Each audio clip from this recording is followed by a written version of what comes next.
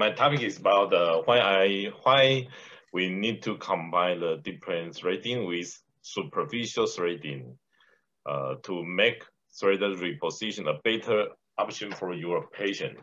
And uh, uh, I will share my experience and uh, uh, uh, to explain why sometimes I use deep plane threading to make a better result. first of all, because the, the formation of the jaw have um, uh, not not the sing, not not only the single etiology. Let's see the video. We can classify the jaw into three different types based on anatomy. The the type one uh, is the jaw come from the superficial fat, and the, the type two, the jaw come from the dropping of the buccal fat pad, and the type three come from the uh, elasticity of the SMAS. Oh, can you see my presentation, PowerPoint? Okay, I'm Dr. Ro, and uh, today's topic is evaluation on the safety of the deep threading based on the 3D anatomy and the tensile strength gap. Tensile strength gap is the new concept, so uh, I want to introduce this concept. Uh, content is like this, the technique and the anatomical structure to watch out and the mechanism of damage and conclusion. Uh, today's my presentation is based on the, the uh, expert opinion, especially inference. So, uh, and the animal and the lab experiment. So the level of evidence is very low. Level five uh, evidence. You must consider uh, this point.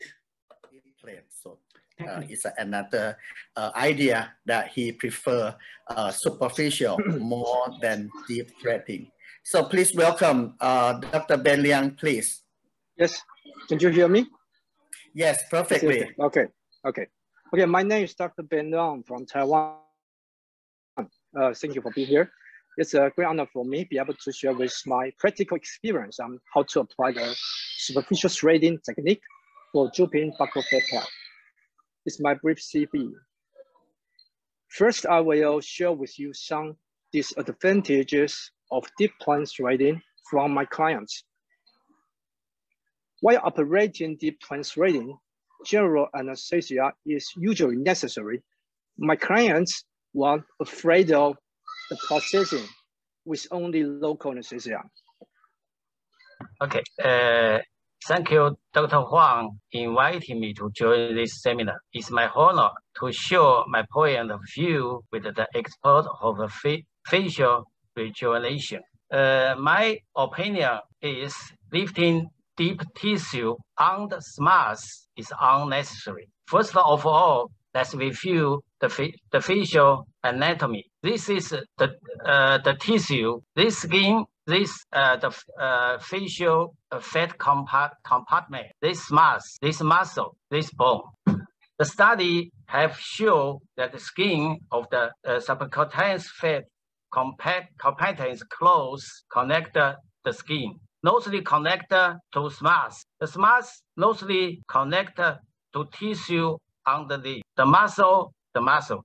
On the facial rejuvenation, when we lift the, the deep the tissue and the not treat skin and uh, the, uh, the superficial tissue due to the nose connect between tissue. Yes. So yeah. that means you uh, you already penetrate deeply to avoid the more risky area before you enter this area, right? Yeah, yes, yes. Okay, yeah. Could you please also make some comment on uh, Dr. Seungmin um, thought uh, about the material that uh, how to reduce the risk to uh, penetrate or injury the parotid gland because of the uh, because the uh, the difference of the material. Sorry, or, pardon. Yeah, yeah. Uh, swimming, uh, swimming. Yes. Uh, according to your uh, thought, uh, do you think uh, Dr. Zhang's uh, explanation uh, answer your concern, or if you have any uh, question to Dr. Zhang again? Uh, Uh, no, no, no. I my first concern is the the facial frontal damage, but the, Dr. Zhang uh, exactly uh, explained the upper part, upper and the yes. lateral part. Yes, that is the the over the upper part of the the superficial temporal artery frontal body, so it's safe. Okay, I agree. Yes, yes.